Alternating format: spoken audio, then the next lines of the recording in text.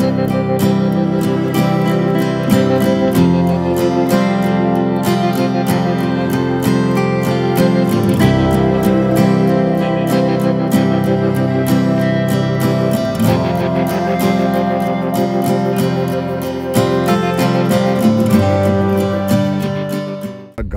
छोड़ देंगे कहीं पे और बैग पैक करके निकलते हैं कहीं पे बस और ट्रेन से। और अजीब सी टूटी फूटी सी सड़क। खाना खाते खाते दिमाग चला कि यार केदारनाथ धाम भी चले आते। तो बाबा का बुलावा आ गया है। अपना तो चलता फिरता घर यही रहेगा दिवाली पे। कुल देखो किस तरीके से डैमेज हुआ पड़ा। गुड मॉर्निंग फ्रॉम तोश आपको बाहर के नज़ारे दिखाते हैं। See look at the beauty of Tosh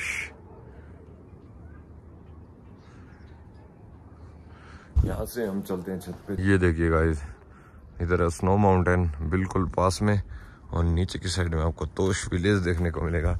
कुछ पार्ट इधर भी हैं एंड कुछ ये देखा। बहुत ही खूबसूरत लग रहा है, बहुत ही खूबसूरत लग रहा है। रात तो पता नहीं लगा, इतना नेचर के बीच में है ना, ये जगह बहुत ही खूबसूरत जगह है।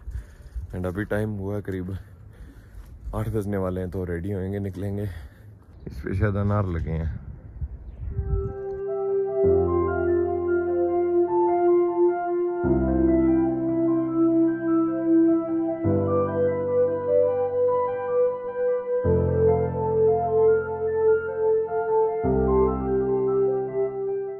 Morning guys from Tosh and आज के प्लान अभी ये हैं कि मुझे यहाँ से निकलना है। ज़्यादा घूमने की चीज़ें नहीं है, बस आप ट्रैक करके एक दो जगह जा सकते हो।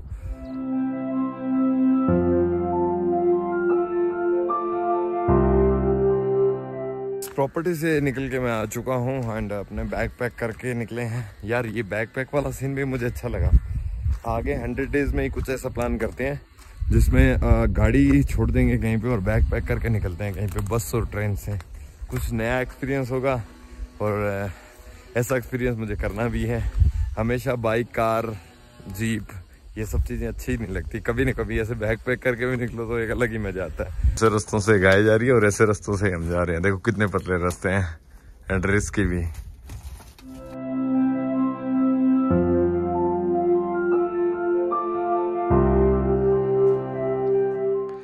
तो इस तरीके से घरों के अंदर तंदूर लगे हुए हैं जिनसे धुआँ निकलता रहता है। और पतले पतले रास्ते हैं जिनसे होके हम ऊपर जा रहे हैं। ऊपर से पानी कई पहाड़ों से होते हुए और इस तरफ़ भी एक छोटा सा ब्रिज बना हुआ है और इधर से शुरू होता है तोश।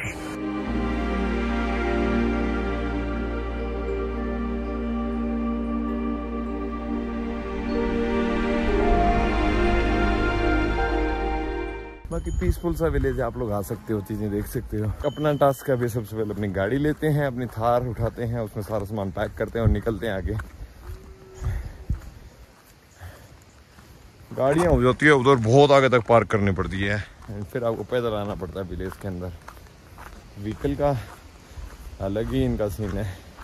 Three hundred rupees for parking charge for one night city के हिसाब से भी चलो ठीक है चलता है लेकिन इतने छोटे से विलेज में ये सब चीज़ें।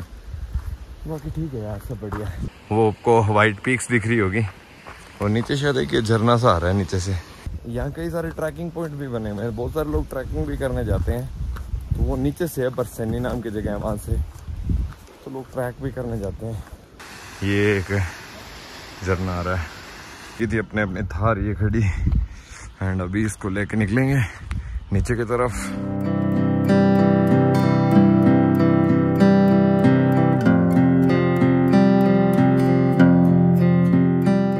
यहाँ देखो लोग गाड़ियाँ धो रहे हैं सुबह सुबह ये भी एक टास्क है यार। पहाड़ों की रानी को सुबह सुबह चमकाना ज़रूरी है। ज़रूरी है भाई जी क्या करना भाई जी?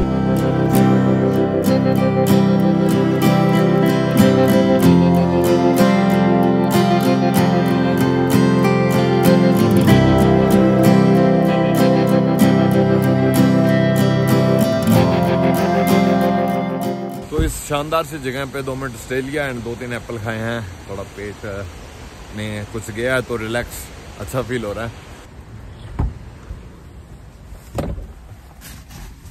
और वो सामने का नज़ारा आप देख सकते हो, उधर देखो, वहाँ से ऊपर से पानी आ रहा है, जो नीचे से होते हुए आगे रिवर में मिल रहा है।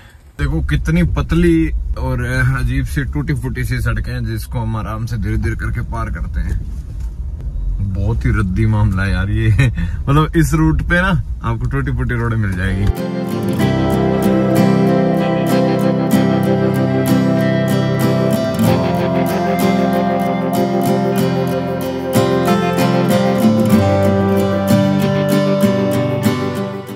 हम देख रहे हैं कोई पार्किंग थोड़ा सा तो घूम के आएँगे यार कसोल आए हैं तो।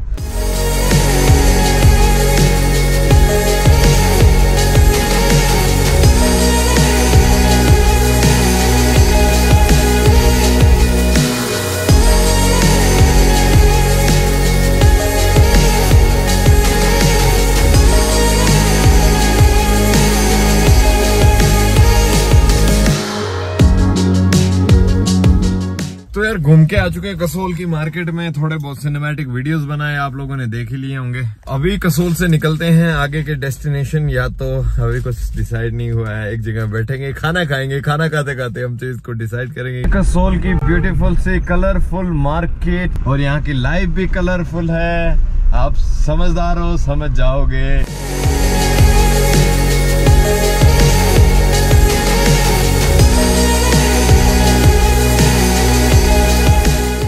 पे की थी एक बार कैंपिंग और ये जगह जस्ट कसोल क्रॉस करते ही है साथ में ये रिवर साइड है। लगाई है एक रेस्टोरेंट मिला है। तो यहाँ से कुछ फ़ूड वगैरह खाते हैं आज परोठा ऑर्डर किया है चाय ऑर्डर की है। कुछ खाते पीते हैं फिर हम निकलेंगे।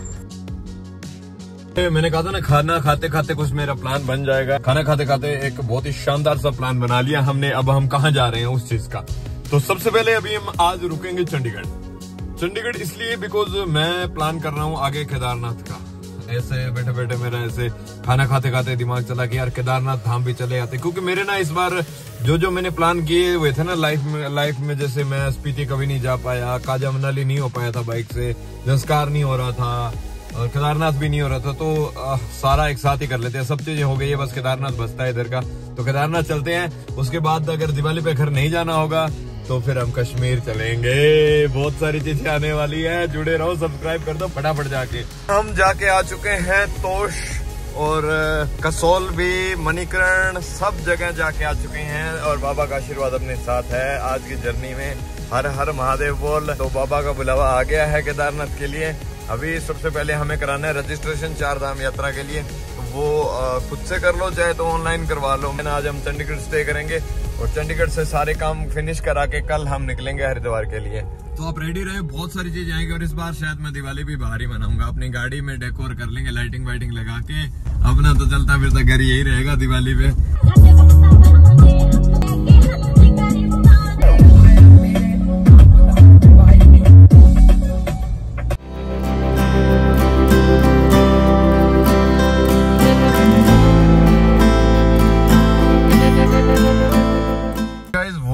है जो नई बनी थी एंड टनल की हालत देखो आप, किस तरीके से लैंडस्लाइड हो रखा है। मतलब बंद ही हो गई है यार ये टनल एक तरीके से कह सकते हैं कि दोबारा इन पे काम हो रहा है। और रोडें देखो हर तरफ़ से कटी पड़ी है बुरी तरीके से। प्रकृति के आगे तो झुकना पड़ेगा भाई, झुकना ही पड़ेगा, कितना ही ज़ोर। तरफ़ भी बिल्कुल देखो किस तरीके से डैमेज हुआ पड़ा है, मामला सारा कुछ टूटा फूटा पड़ा है। और यहाँ भी टनल का एक गेट आएगा होपफुली ये ओपन हो। ये ओपन हुआ तो हमें एक रास्ता काफ़ी नियर हो जाएगा। तो ये टनल ओपन है, ये अपने लिए अच्छा संकेत है।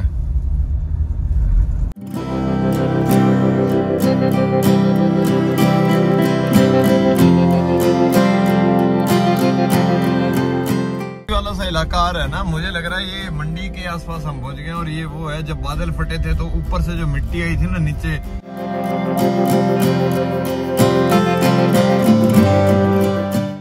पतली कर दी गई है और वो देखो ऊपर से डैम से पानी आ रहा है। कभी हम वहाँ से जाया करते थे। ये एरिया तो बिल्कुल टूट गया था, जिसको अभी दोबारा काट पीट के डेवलप किया है। यहाँ हम उस ब्रिज के ऊपर से जाया करते थे और ये वाला तो रास्ता भी नहीं था। ये वाले सारे रास्ते बाद में बनाए गए हैं। इधर तो भाई बहुत बादल फटे थे, बहुत बुरे हालात हो गए थे उन दिनों। थोड़ा मिट्टी तो एक्सट्रीम उड़ रही है भाई एक्सट्रीम डैम आया था, वहाँ रास्ते काफ़ी डैमेज से हो रखे थे, पता नहीं किस किस तरीके के। एंड वो सब क्रॉस करने के बाद जस्ट मैंने एक ब्रेक लिया है कॉफ़ी ब्रेक और वो आगे अपनी थार खड़ी है।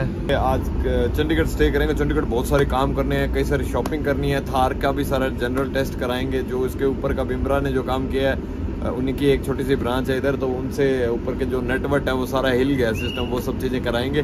आफ्टर दैट हमारा रहेगा चंडीगढ़ के बाद यहाँ हरिद्वार, ऋषिकेश होते हुए ऊपर केदारनाथ का प्लान बन रहा है। तो कुछ एक शॉपिंग भी करेंगे क्योंकि सारे कपड़े अपने हो चुके हैं गंदे। तो कुछ कपड़े धो भी लेंगे और कुछ कपड़ों की शॉपिंग भी कर लेंगे नए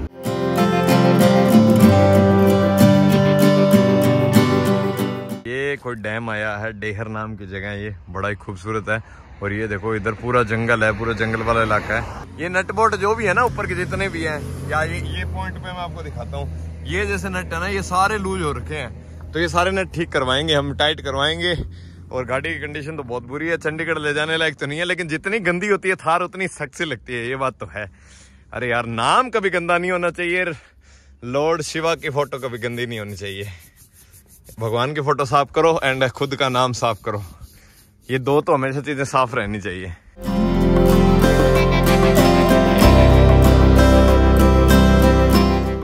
महादेव कितना खूबसूरत टनल आया देख सकते हैं आप। इसकी ना जो ये कलाकारी है ना ये बड़ी शानदार की हुई है। हिमाचल की सीमा खत्म हो जाती है और पंजाब शुरू हो गया है। हाँ, हर बार सोचता हूँ किरतपुर साहिब गुरुद्वारे में एक बार मत्था टेक के आएँगे लेकिन कभी हो ही नहीं पाया। जब भी इधर आता हूँ, हमेशा लेट हो जाता हूँ। से चाय और परौठा ले लिया है, क्योंकि और कुछ स्नैक्स में मुझे समझ नहीं आ रहा था। रात को डिनर तो लेट ही हो जाता है, और मैं खड़ा हूँ अभी सुखदेव, ढाबा।